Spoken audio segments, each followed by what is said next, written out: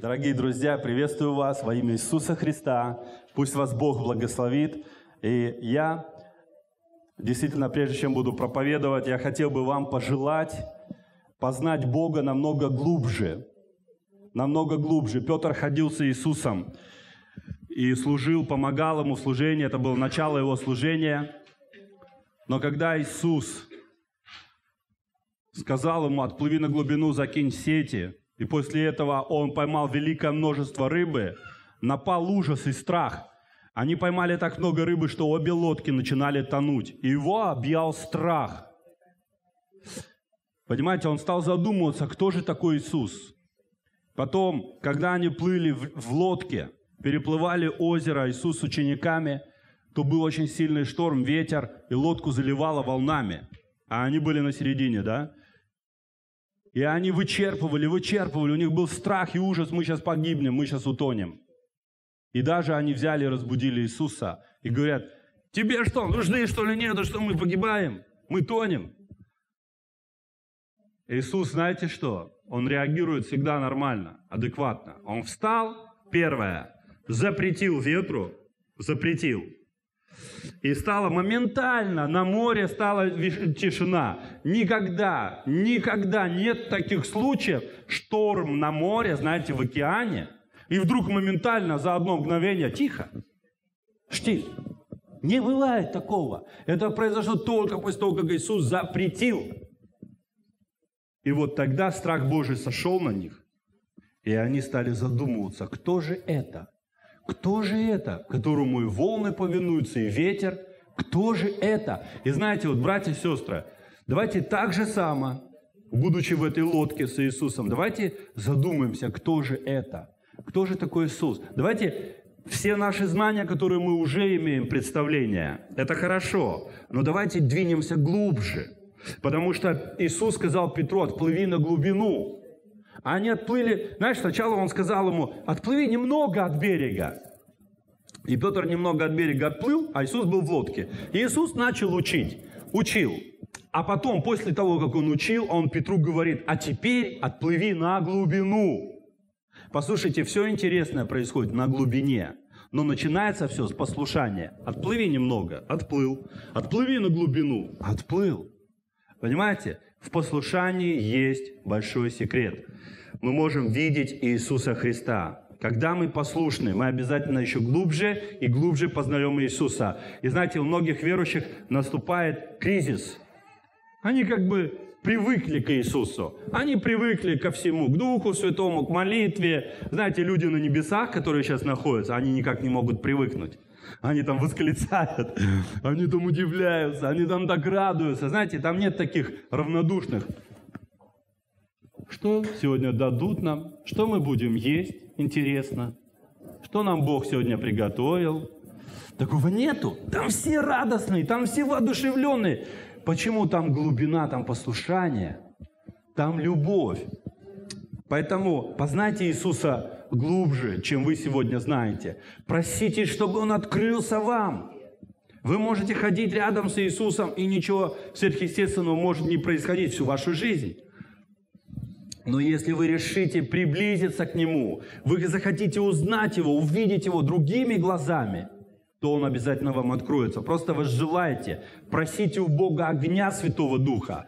Без огня мы становимся плотскими, мы становимся душевными. Мы такие, знаете, мы грешить начинаем. Мы начинаем просто думать, как раньше, как старый, ну, как мир, как старый образ жизни. Все без огня, все возвращается, теплота возвращается. Но Бог, Он запланировал, чтобы мы жили в огне Святого Духа, в бодрости, и чтобы мы действительно шли и имели влияние в этом мире. Аминь. Итак, тема проповеди будет называться «Хорошо служившие». Сегодня будет тема о служении. В прошлом э, раз я проповедовал «Поклоняйся и служи». И сегодня будет продолжение темы служения. Вот, ведь в тот момент, когда Бог призывает человека, Он призывает его и говорит ему, следуй за мной. Да? Человек оставляет свои грехи, оставляет старый образ жизни. Но на этом не все. Конечно, он садится и слушает. Он слушает Иисуса, потому что ему надо понять, кто такой Иисус. Ему надо уверовать. Ему надо иметь знания. Но потом, потом, он, получивший руководство, получивший знания, может что-то делать. И Иисус, Он призывает людей на служение. Вы знаете, что на самом деле Бог не нуждается в помощи. Кто, кто об этом в курсе? Представляете, что написано, Деяние 17 главе написано, что Бог, сотворивший мир, и все, что в нем, не нуждается в служении рук человеческих. Не нуждается. Он все может сделать сам. И если он может, он может попросить даже ангелов, и они все сделают качественно. Однако, в тот же самый момент он нуждается в служителях, в его людях, которые будут заниматься его служением, работой, как сказать, э, миссией. Почему? Потому что он хочет наградить тебя. Он не может просто до тебе дать награду какую-то. Он просто тебе дает спасение, но награду каждый зарабатывает, заслуживает. Вы где-нибудь видели, что э, золотые медали раздавали просто так? О, толпа людей, давайте раздадим золотые медали. Нет такого, есть правило золотой медали. Заслужи ее, заработай венец, чтобы тебе на голову одели. А вот Иисус заслужил. И написано Его имя теперь выше всякого имени, Ему поклоняются все, у Него вся власть. Когда вы видите беззаконие в этом мире, не думайте, что у дьявола вся власть. Это не так. Написано, Бог посмеется над ними. Он посмеется над ними, они замышляют замыслы. Но вся власть у Иисуса Христа. И вы знаете, Бог, Он своих деток призывает для служения. Не потому, что Он что-то не может сделать сам, а потому, что Он хочет, чтобы ты был соработник. И вы знаете, в тот момент, когда ангел пришел к Петру и разговаривал с ним, написано, Петр упал и хотел поклониться. Что сказал ангел? Не делай этого, ибо я соработник, я, я соработник. Не надо этого делать. Не надо поклоняться ангелам. Богу надо только поклоняться. Итак, Бог призывает нас служить. Как в прошлой проповеди я говорил, что поклоняться – это узнавать Бога, проводить с Ним время, а служить – это делать э, то, что Бог тебя просит. И Он всегда просил. Он попросил там учеников своих, следуйте за мною. Я сделаю вас ловцами душ человеческих. Вы ловите рыбу, я сделаю вас ловцами душ человеческих. И так и было. Они оставили это дело и пошли и помогали ему, заботились о Божьей церкви. Бог тебя призывает в служение не для того, что Он не справляется сам. Он хочет тебя благословить. И для этого нужно легальное право благословить тебя, что ты что-то делаешь, Он тебя благословляет в этом. Смотрите, Петр предоставил свою лодку Иисусу. Иисус, проповедуй. На, возьми мою материальную вещь, на, из моей лодки. Кто-то открывает свой дом, говорит, приходите, будьте у меня в доме, служите у меня в доме, да? Петр предоставил лодку. Иисус его отблагодарил рыбой. Он сказал, так много рыбы поймали, что лодки еле, еле вообще приплыли к берегу. Чуть не утонули вместе с этой рыбой. Если и служить Богу, братья и сестры, мы, мы многие хотим служить Богу по одной причине. Мы благодарны Ему. Послушайте, когда человек благодарен, даже, вот знаете, вот вот просто даже спасибо хочется сказать, понимаете? Вот когда человек благодарен, да, он хочет выразить тоже. Он не просто это принимает, да, тебе что-то сделали. Ты хотя бы спасибо говоришь. Так же и мы. Почему мы хоть хотим служить Богу? Потому что мы благодарны Ему. Мы так счастливы, и мы спрашиваем, Господь, могу ли я что-то сделать для Тебя? Могу ли я послужить как-то в Царстве Твоем? Иисус говорит, без проблем, конечно, можешь.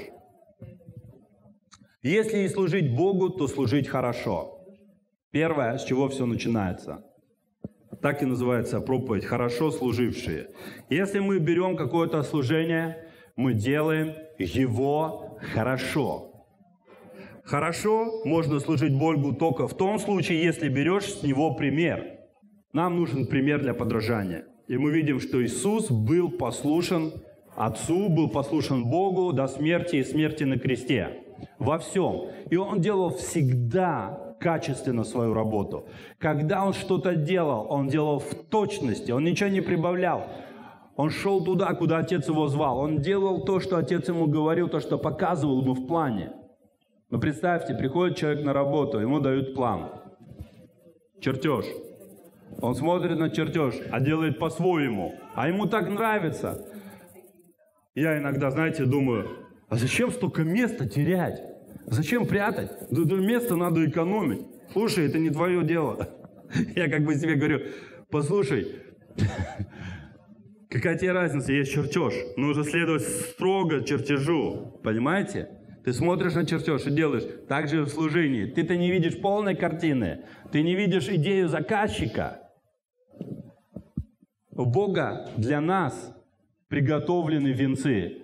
Но до венцов есть целая дорога служения. Давайте прочитаем одно местописание из Библии.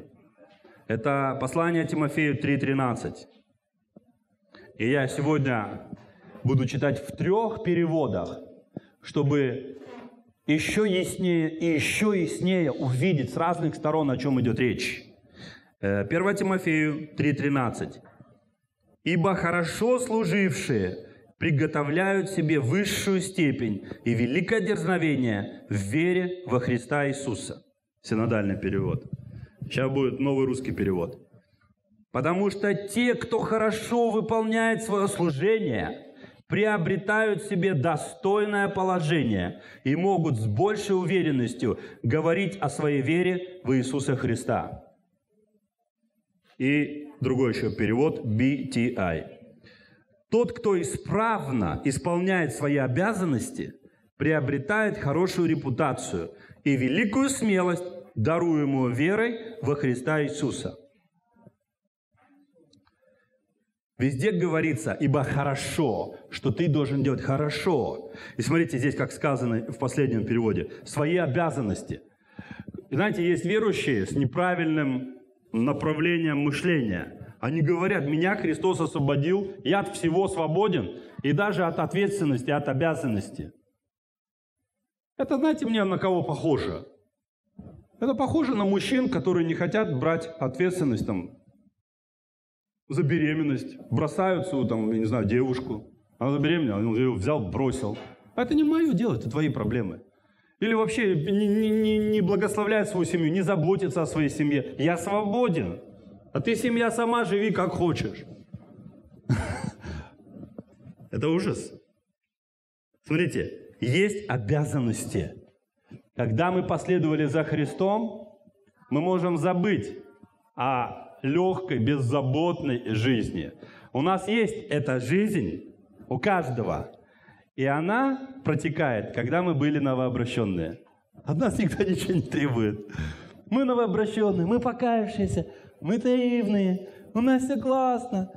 Мы видим церковь с другими глазами, все друг друга любят, это хорошо. А потом мы взрослеем, и нам доверяют больше и больше ответственности. И нам эту ответственность нужно делать очень хорошо. И как я говорю, что служение Богу, служение Богу, что такое служение Богу? Что, что включает в себя служение Богу? Вот, например, я только часть из моего служения я сейчас делаю. Вот только часть. Я проповедую по воскресеньям. Я служу Богу. Вы сидите, слушаете. Я служу. Но это только маленькая часть. Поймите, есть еще целая неделя где я могу проявлять э, свое служение. Я могу делать его. Я могу служить Богу, и так и должно быть. Многие верующие думают, что служить можно только по воскресеньям. Это не так. Это не так. Мы каждый день служим Богу. Мы молимся за кого-то, мы кому-то говорим, мы кого-то свидетельствуем, мы кого-то помогаем. В конце концов, твоя семья – это тоже твое служение. И служение Богу вытекает из поклонения Богу. Когда я просто начинаю молиться, я начинаю читать Библию, размышлять, я встречаюсь, знаете, вот ты берешь книгу, например, какую-то, и просто читаешь книгу. Ты же реально встречаешься с этими героями. Ты слышишь, о чем они разговаривают. Ты начинаешь думать, ты видишь их со стороны. Ты попадаешь в этот мир, как сказать, э, воображаемый мир – и ты реально слышишь, Ты начинаешь тоже там участвовать, может быть, как-то. Ты начинаешь переживать, ты начинаешь подключаться к нему. Также и Библию. Ты когда начинаешь читать ее, ты попадаешь в другой мир, и Бог тебе может выражать какие-то особые вещи, показывать тебе. Тебе надо вот так вот делать, вот ты молодец, что ты вот верный, тебе вот в этом нужно меняться. И Бог может учить и вдохновлять тебя через Слово. Он может поощрять тебя. Однажды я открыл Библию, я такой решил помолиться и говорю, Бог, а ты вообще в курсе обо мне, что я есть?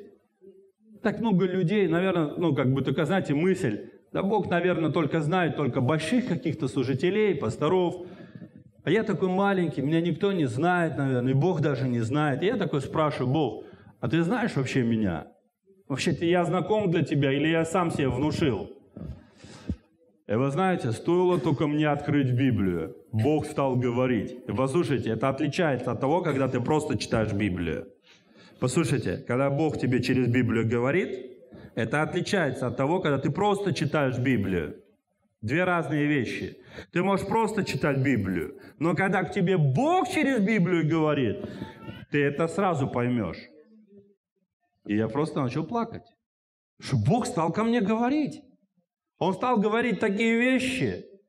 Просто он меня довел до слез. Он просто стал трогать. Он мне стал проявлять свою нежность, свою любовь. Он стал говорить, насколько я важен для него, насколько он приготовил великие вещи, которые просто не укладываются в голове. Понимаете? Стоило только спросить у Бога, и он ответил. Служение Богу вытекает из поклонения. Давайте вот вспомним Исаия. Он поклонялся в Богу, он вошел в духовный мир, он стал поклоняться, и вдруг он услышал, что Бог говорит о своих нуждах. Он говорит, у нас есть проблемы на земле. Кто пойдет для нас? Кто решит эти проблемы? И написано, и не нашлось никого, кто бы решил эти проблемы.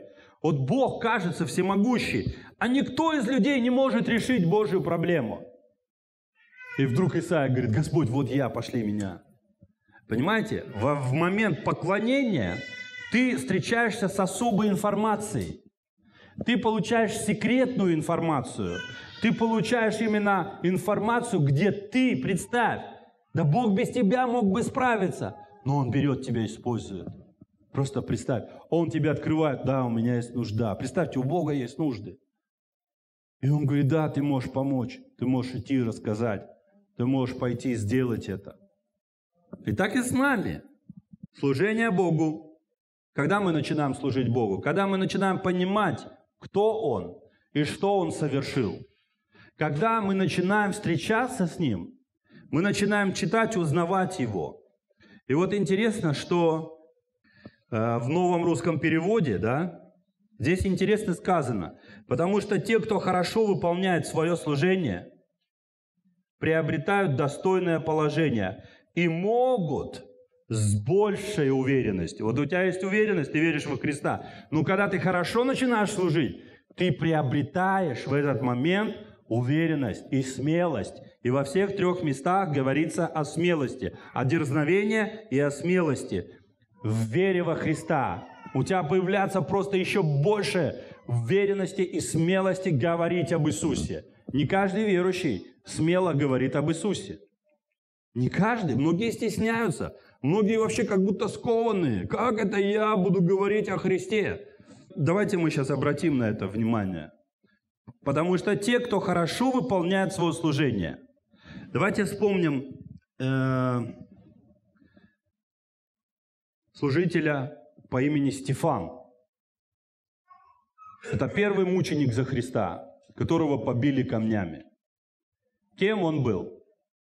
Он не был пастором, он не был апостолом. Он был диаконом. Он помогал в служении, знаете, в таком, в помощи в служении, там, принеси, подай. И написано, что апостолы, да, э, услышали, что в церкви происходит проблема. Потому что, когда, знаете, пошло лицемерие такое определенное. Там были еврейские женщины, были греческие женщины. И греческих женщин как бы немножко задвигали.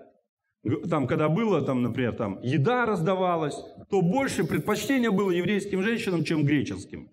И вот такой спор произошел, знаете, помощь. Почему вот ему больше помогли, а мне меньше помогли? Почему такая несправедливость? Знаете, и появился вот этот бардак в церкви.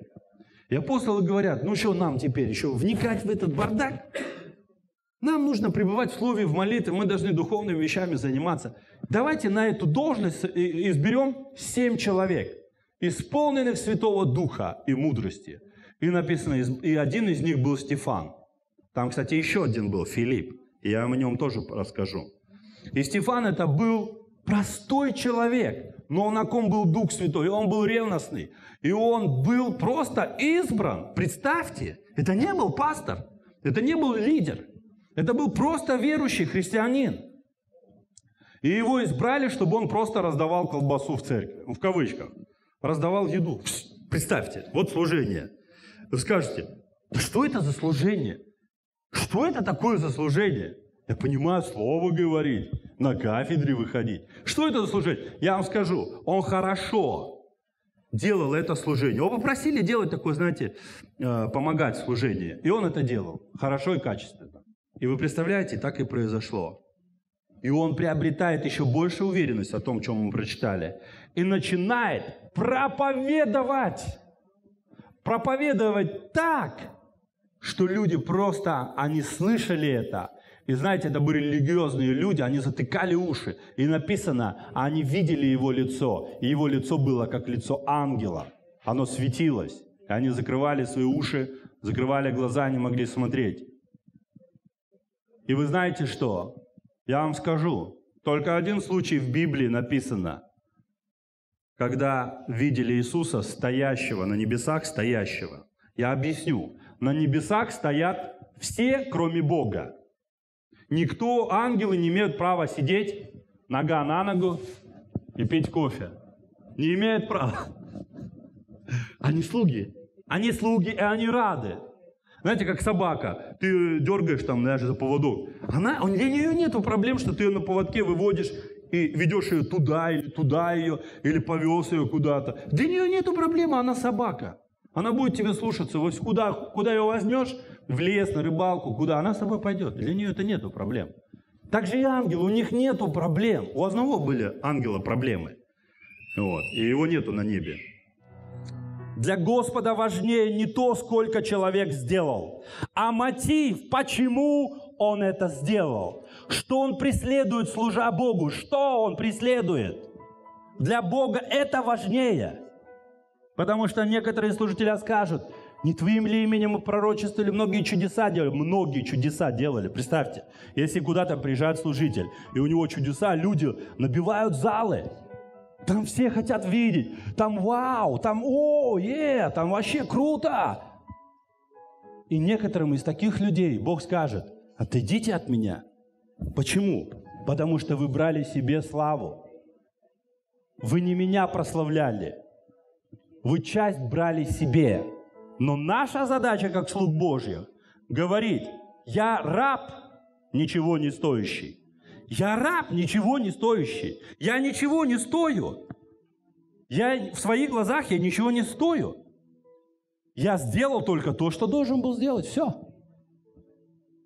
Некоторые, служа Богу, стремятся сделать себе карьеру и достичь своих целей, а некоторые служат Богу искренне, желают во всем угодить Богу и сделать карьеру имени Иисуса Христа. Все из учеников Иисуса, там 11, да, они прославляли Иисуса, они делали знаменитым имя Иисуса там, где даже не знали этого имени – в Европе никто не знал имя Иисуса Христа. Апостол Павел сделал его карьеру Иисусу, имени Иисуса здесь. Сегодня есть церквя, сегодня есть христианство в Европе. Вы что думаете, так всегда было? Нет. Был служитель по имени Павел, который свою жизнь ни во что поставил. Он сказал, Господь, Твоя воля для меня дороже всего. И я Твой слуга и я буду служить тебе даже до последних дней, даже до того момента, пока меня убьют. Наша задача делать то, что Он просит, и через все, что мы делаем, прославить имя Иисуса Христа. Вот как должен выглядеть настоящий служитель. Ты делаешь только то, что Бог тебя попросил. Знаете, сколько самодеятельности? А я для Бога хочу сделать это, а Бог тебя попросил делать другое. Ты чего делаешь не то? Не по схеме, не по чертежам. Ты молился, и Бог тебе показал какого-то вот человека, заботься о нем. Ты говоришь, я о нем не могу заботиться. Мое вот дело, знаете, быть на сцене перед камерами. Служа людям, служа людям качественно, мы служим Богу. Как я могу что-то сделать Богу? Что думаете, Бог от меня что-то возьмет? Делая людям, служа людям искренне, и я служу Богу. Когда вы придете на небеса, а это цель того, что я здесь стою, чтобы вы все-таки на небеса пришли. Да, чтобы вы пришли в церковь, наполнили церковь, но цель – небеса. И пока вы не придете туда, я не успокоюсь. Самая большая награда для служителя – это слова. Послушайте. Для всех, для каждого христианина это должно прозвучать. Господин его сказал ему, «Хорошо, добрый и верный раб, в малом ты был верен, над многим тебя поставлю. Войди в радость господина своего». Матфея 25, 21. Вот эти слова, ради этих слов стоит жить, стоит служить.